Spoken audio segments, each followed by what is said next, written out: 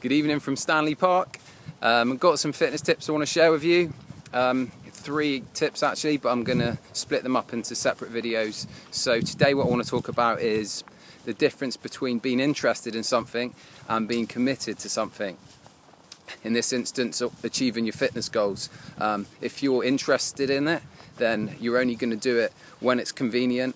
Um, the possibility of you missing workouts, skipping meals, that kind of thing is going to be way higher. If you're committed to achieving your goals, you're going to do no matter what it takes to get them.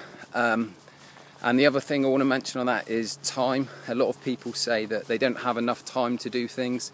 Um, that is not true because everyone has the same amount of time and there's only so many hours in a day and it's what you prioritize with your time. So if you're committed to achieving your fitness goals and it's a real high priority on your list, then you will do it. So that's my tip for today. So be committed to achieving your goals. Cheers.